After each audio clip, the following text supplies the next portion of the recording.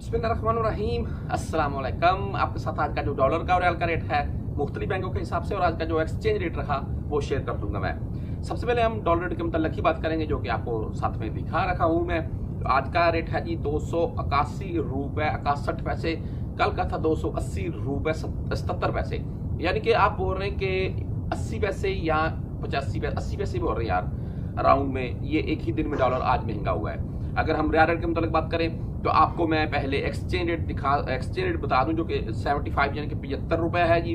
अमराती दरहम की बात करें, छिहत्तर रुपए सतासठ पैसे, बहरीनी दिनार सात सौ सैतालीस रुपए का। और अगर उमानी रियाल की बात करें तो उमानी रियाल बनता है जी सात सौ इकतीस रुपये का। और बहरीनी दिनार वैसे तेज है उमानी रियाल से।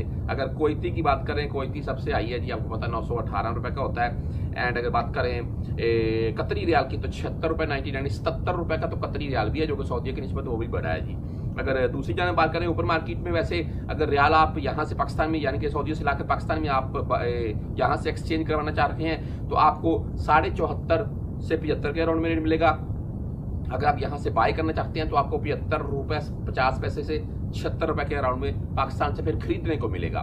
ठीक है? मुख्तलि बैंकों के हिसाब से भी आपको रेट बता देता हूँ। मैं इनमें सबसे पहले बात करेंगे आज राज़ी बैंक की। राजीव बैंक का जो आज का रेट रहा वो जी तिहत्तर रुपए नौ पैसे, दस, सत्रह एंड पच्चीस रियाल इनकी फ़ीस होती है।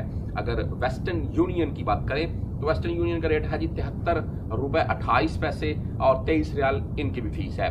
मैंने दो दिन पहले की वीडियो में बताया था कि भाई, इसने मुझसे ये बात आपके साथ क्यों शेयर कर रहा हूँ? देखें, फ़ायदा हो गया ना उस बंदे को। आपको बताने का मकसद ये था, अगर आप में से भी कोई बंदा देखें, हर बंदे समझदार है यार, खासकर प्रदेश में रहने वाला।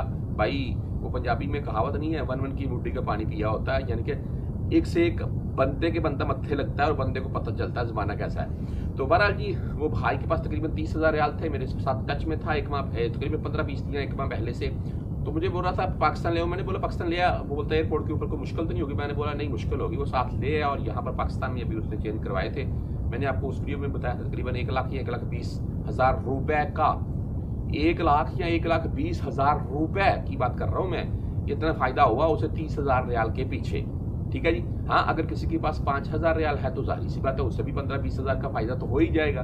ठीक है जी? अब मुस्लिम वीडियोस में इसके मतलब मैं ज़िक्र करता रहता हूँ। कैसे? वो आप खुद समझदार है, रियाल का रेट पाकिस्तान में कुछ और, वहाँ कुछ और है, आज कुछ और है, कल कुछ और होता है। जो वीडियो मेरी मतवातर भाई देखते हैं, उनको समझ होती है इस चीज़ की। बहरहाल जी, अगर बात करें हम मनी ग्राम की तो मनी ग्राम का आज का रेट तिहत्तर रुपए सोलह पैसे और तेईस रियाल इनकी फ़ीस है। अगर टेरी मनी की बात करें, यानी कि ए एन बी बैंक की इनका रेट आज का तिहत्तर रुपए पच्चीस पैसे पंद्रह एंड सत्रह रियाल इनकी भी फ़ीस होती है। अगर बैंक जजीरा यानी कि फौरी बैंक की बात करें तो इनका रेट आज का तिहत्तर रुपए इकतीस पैसे और इनकी भी दस, सत्रह, पच्चीस रियाल फ़ीस होती है। और अगर बात करें हम एस टी सी पे की तो एस टी सी पे का आज का रेट तिहत्तर रुपए अठतीस पैसे और इनकी भी सत्रह रियाल फ़ीस होती है। अगर हम इंजाज बैंक की बात करें तो इंजाज बैंक का आज का रेट दे रहा है तिहत्तर रुपए उनतीस पैसे दस, सत्रह यानी पच्चीस रेल फ़ीस के साथ। और अगर क्विक पे की बात करें तो क्विक पे का आज का रेट दे रहे हैं तिहत्तर रुपये बयालीस पैसे हाई रेट दे रहा है और इनकी भी दस एंड सत्रह रेल फ़ीस होती है।